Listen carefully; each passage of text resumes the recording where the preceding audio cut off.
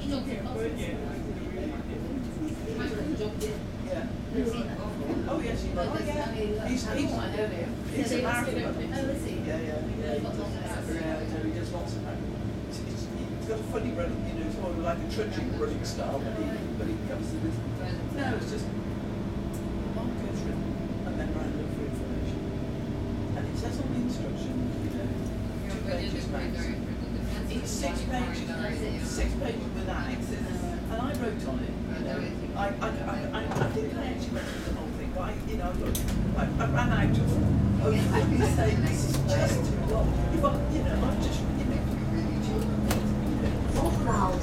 Next stop, Ashesea, Rotherham. Using the attitude of the most feedback when you answer. Remember. To check out your feedback.